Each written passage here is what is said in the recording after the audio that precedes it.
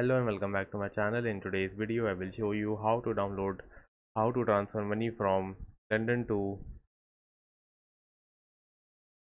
Belgium without going to the bank. So let's get started. First thing first, you need to create a Wise account.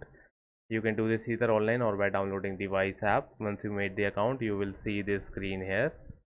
Now you have to enter the amount that you want to transfer. Then you have to change the currency of recipient. Now you have to click on continue and now it will ask the details about yourself like your country of residence full legal name date of birth and phone number. Now you have to click on continue. Then it will ask the recipient details and then you have to review the payment. And at last you will be able to pay the amount.